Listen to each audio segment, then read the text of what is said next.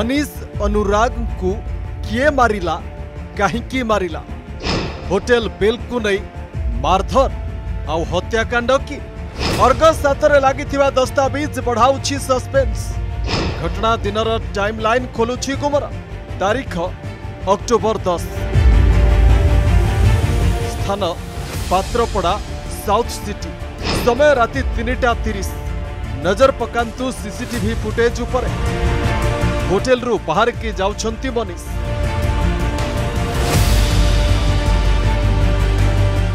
ସମୟ ଭୋର ଚାରିଟା ତେର ସିସିଟିଭି ଫୁଟେଜ୍ର ଏ ଦୃଶ୍ୟ ମନୀଷଙ୍କ ମୃତଦେହ ମିଳିଥିବା ପୋଖରୀ ପାଖର ଦୁଇ ଜଣ ବ୍ୟକ୍ତି ପୋଖରୀ ପାଖରେ ଚଲାବୁଲା କରୁଛନ୍ତି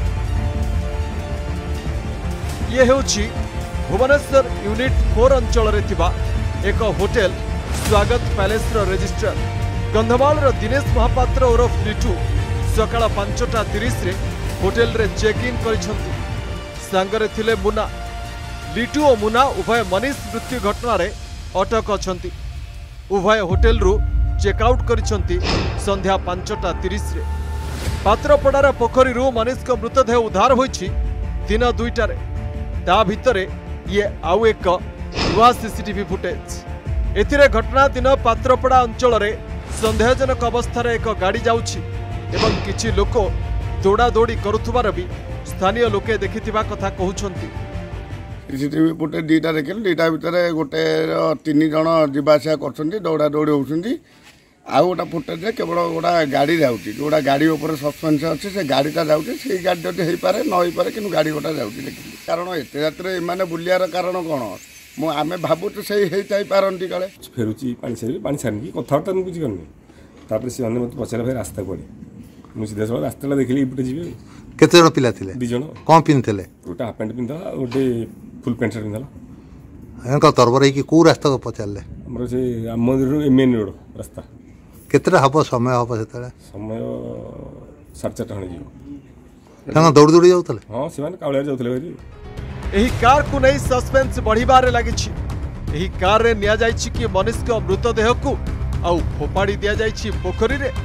ତେବେ ବଡ଼ ପ୍ରଶ୍ନ ସେଦିନ ରାତିରେ କ'ଣ ଘଟିଥିଲା? ବିଶେଷ ସୂତ୍ରରୁ ମିଳିଥିବା ସୂଚନା ଅନୁସାରେ ଘଟଣା ଦିନ ମନୀଷ ଓ ଅନ୍ୟ ସାଙ୍ଗମାନଙ୍କ ସହ ହୋଟେଲ ସାଉଥ୍ ସିଟିରେ ଖାଉଥିଲେ।